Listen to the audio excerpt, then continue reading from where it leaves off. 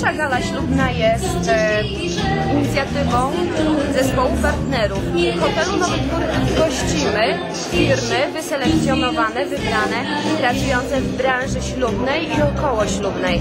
Począwszy od pierwszych kroków, jakie stawiają nowożeńcy, to znaczy od rezerwacji w sali, gdzie zapraszamy do hotelu Nowy Dwór w Świczy Zaczerniu, poprzez wybór, wybór zespołu muzycznego, fotografa, wideofilmowanie, wybór pierścionka zaręczynowego, chyba to jako pierwsze powinno się znaleźć, e, obrączek.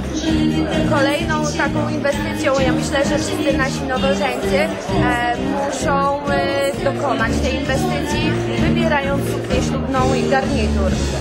A kolejną sprawą to jest wesele, tort, fontanna czekoladowa i oczywiście na tym weselu dobór menu.